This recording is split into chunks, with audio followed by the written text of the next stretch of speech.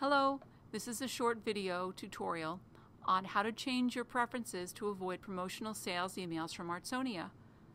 While many people do enjoy purchasing items that features their child's artwork, um, one of the parents was upset because I had no idea that you'd be getting um, emails daily. He was getting two or three emails daily requesting that he purchase items. Um, this is not the reason that Foster Elementary School has joined Artsonia. While we wanted to allow you to purchase items if you wanted to, since this has been successful in the past, the, the artwork is up there for us all to enjoy, for the interaction we've been having with people um, leaving notes for children about their email, um, having the children write about, excuse me, about their artwork, having children write about their artwork. It's been wonderful.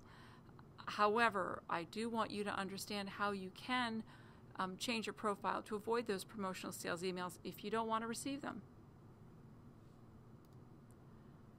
First of all, you're going to make sure you go to artsonia.com. Then you're going to look for this blue button over here that says login. You also could click parents and then go through another page, but it's a little more quick to go to login. You're going to log in under parent. Now, in Artsonia Parents, you've originally gave your um, permission with a specific email address. You should use that email address, and you should have a password from the first time that you logged in. You had your child's key, and you used that to log in, and they asked you to create a password. If you've not gone through that step, then you would not be receiving the emails. So, but if you cannot receive, if you cannot um, remember your password, just go down here and you can click to recover your email address you used or your password. You'll come to this page once you've logged in. Now, you will want to at times review comments left about your child's art or help edit the fan club, or you can even upload new artwork and review past artwork. But today we're talking mostly about options for parents you're going to want to edit my profile. So click this top um, text, please. You'll come to this page and you'll see all of your information that you can change. You want to scroll down. And when you scroll down at the bottom, you're going to see information regarding your email options. If you've been receiving email, this will have been checked on for promotions and you'll receive those promotional emails. And if you want those, leave that clicked on.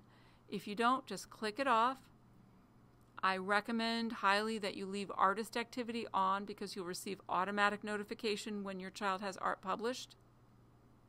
I also recommend you keep news and announcements on. I'll be sending some um, occasional email every two weeks or so about things happening in the art room. At least that's the plan right now. If you don't want to receive those emails, click that off. Then make sure you click continue um, it doesn't say save, but this is how you save if you click continue. After you've clicked continue, you'll come back to this page, and then you want to log out right here. And that's how to change your email preferences. I hope this has been helpful. If you have any questions that have not been answered, please email me at cmckeon, M-C-K-E-O-N, at hinghamschools.org. Bye-bye.